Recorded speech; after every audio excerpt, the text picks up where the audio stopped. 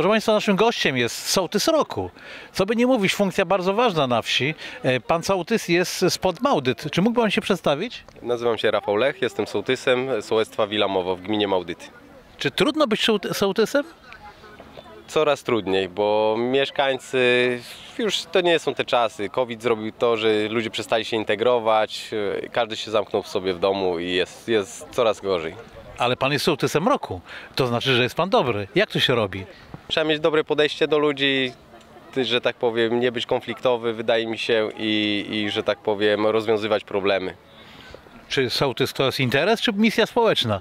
Misja społeczna, misja społeczna, bo, bo jak na początku sołtys nie dostawał, że tak powiem, nie było pensji, tak? Później było to 200 zł miesięcznie, obecnie jest to 500 zł, ale że tak powiem, zajęć jest naprawdę dużo, więc te pieniądze i tak przeznaczam na, na działanie koła gospodyń i sołeckich zadań w Filamowie. E, Czy sołtys ma dużo kontaktów z gminą? Bo to jest w końcu Wasz najbliższy, e, najbliższy e, szczebel administracyjny. Oczywiście, tutaj jest bardzo ważna współpraca. My akurat z, z obecnym wójtem, panem Marcinem Krajewskim, znamy się bardzo dobrze i ta współpraca jest naprawdę bardzo dobra. E, I tak jak pan wspomniał, e, sołtys jest to najniższy szczebel władzy, więc jakby no, musi, że tak powiem, rozwiązywać te sprawy takiego niskiego szczebla i przekazuje dalej do gminy, więc, że tak powiem, kontakt jest bardzo dobry. A jakie wrażenia z tej wystawy? Nie, no jest, jest ogromna, że tak powiem. Maszyny są, że tak powiem, coraz większe i chyba już tych małych rolników nie ma, tak jak u nas na wsi.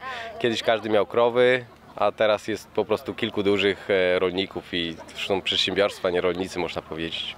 Chyba kierunek właściwy, po prostu rolnictwo się e, profesjonalizuje. Nie, no zgadza się, no nie, te maszyny, te wszystkie ładowarki, ja pamiętam jak zaczynałem, jeszcze jeździliśmy na pole, zbieraliśmy małe kostki, a, a już jak kończyłem, e, że tak powiem, przygodę z rolnictwem, to już wjeżdżał sprzęt, tak, były ładowarki, już nikt nie zbierał małych kostek, balotów, tylko były duże, wielkie baloty, które trzeba ładować było sprzętem.